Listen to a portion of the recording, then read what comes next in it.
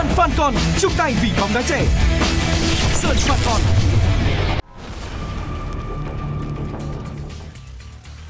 Một trận đấu của đội tuyển không chỉ có trái bóng trên sân, mọi góc nhìn, mọi cảm xúc và những điều chưa từng có. Phóng viên Công Phượng tác nghiệp tại Bali, Indonesia. Bình luận thể thao tuần này 20 giờ 30 ngày 15 tháng 11 trên VTV1. Sơn Phan Con chung tay vì bóng đá trẻ.